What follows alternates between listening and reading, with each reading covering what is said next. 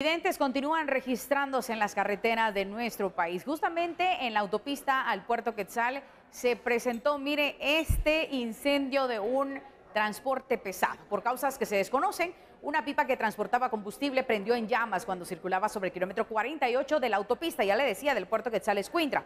Bomberos voluntarios llegaron al sector y tras varios minutos de ardua labor lograron controlar las llamas. El conductor no resultó herido, pero presentó crisis nerviosa, por lo que paramédicos tuvieron que estabilizarlo.